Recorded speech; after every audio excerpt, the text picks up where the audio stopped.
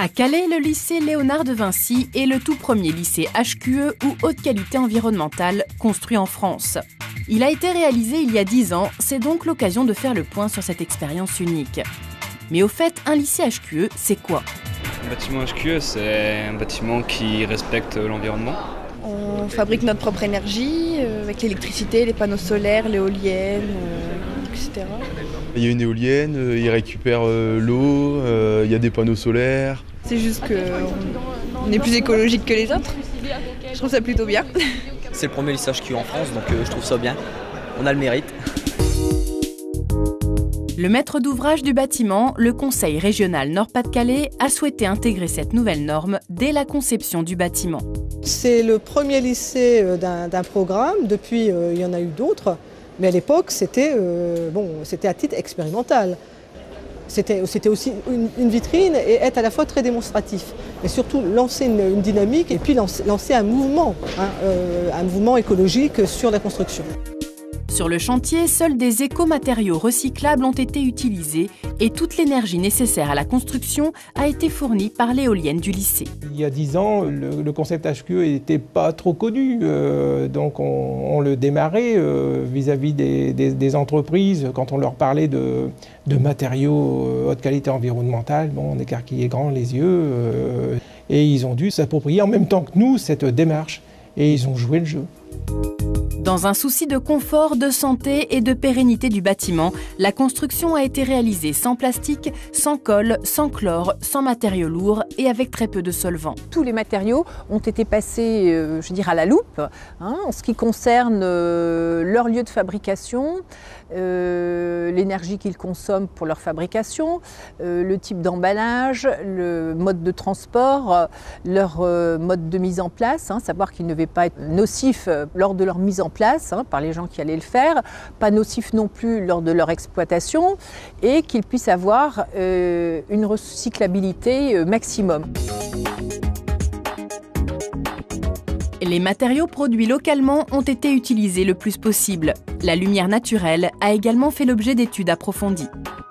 On a également aussi un grand travail sur tous les percements de façon à amener de la lumière naturelle au maximum dans les classes, donc pour amener un confort visuel et aussi également pour viser des économies d'énergie, c'est-à-dire éclairer le moins possible les classes. Des équipements écologiques permettent au lycée de subvenir à 75% de ses besoins en énergie. D'ici, on voit les principaux euh, lieux euh, d'énergie renouvelable. Donc, on a derrière nous ce qu'on appelle les liopac, donc les capteurs euh, eau chaude, hein, qui permettent d'alimenter l'eau chaude de, la cuisine, qui se trouve juste en dessous. Ensuite, l'éolienne, qui fournit l'électricité au lycée, et les capteurs photovoltaïques qui fournissent aussi l'électricité au lycée. Donc on a là les trois points majeurs d'utilisation de l'énergie renouvelable qui confère au lycée un maximum d'autonomie dans sa gestion énergétique. Des toitures végétalisées permettent de récupérer les eaux pluviales. Un bassin de stockage de 200 mètres carrés fournit l'eau nécessaire aux sanitaires, à l'arrosage des espaces verts et à l'entretien des sols. Donc ici, on se trouve dans le local de récupération de l'eau. Hein. donc les eaux qui sont récupérées de toutes les toitures sont stockées dans les bassins extérieurs. Hein, ils sont ensuite euh, stockés ici dans cette cuve. Ils ont été filtrés au préalable, hein, filtrés de différentes manières pour vraiment avoir une eau impeccable. Et ensuite, ils sont réinjectés dans le réseau au travers de ces deux surpresseurs qui donc réinjectent dans tout l'établissement pour euh, alimenter les sanitaires. Sur cette construction, le surcoût de la démarche HQE fut d'environ 10%, mais il est compensé de manière directe par les économies d'énergie. Le bâtiment consomme 100 kW par heure et par mètre carré, contre 140 pour un lycée classique.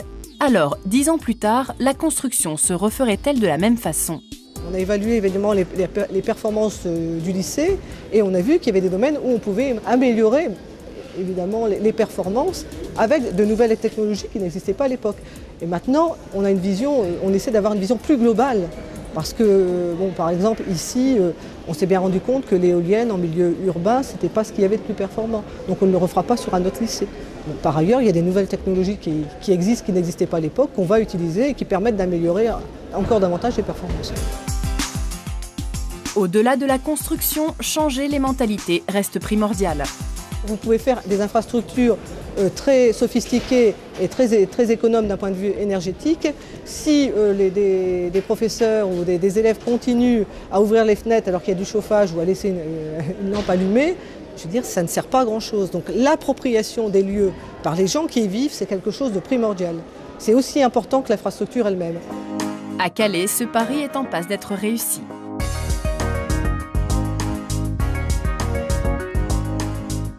Les élèves se rendent compte de la chance qu'ils ont déjà d'avoir des conditions euh, d'accueil exceptionnelles, hein, puisque le lycée est très clair, euh, il, est, très bien. Enfin, sa conception est faite pour l'enseignement. Il a été pensé euh, avec les enseignants d'ailleurs lors de sa construction, ce qui fait que les élèves et les enseignants se sont très vite appropriés l'établissement. ils se sont très vite appropriés l'espace et leur pédagogie a été influencée justement par l'aspect HQE de l'établissement. Le lycée Léonard de Vinci fut un précurseur. En 10 ans, il a fait des émules et de nombreux lycées HQE ont vu le jour en France. Grâce à de nouveaux logiciels de calcul et l'utilisation de nouveaux matériaux, ces bâtiments sont de plus en plus performants sur le plan énergétique. D'ailleurs, les lycées qui verront le jour après 2012 ne devront consommer que 50 kWh par heure et par mètre carré.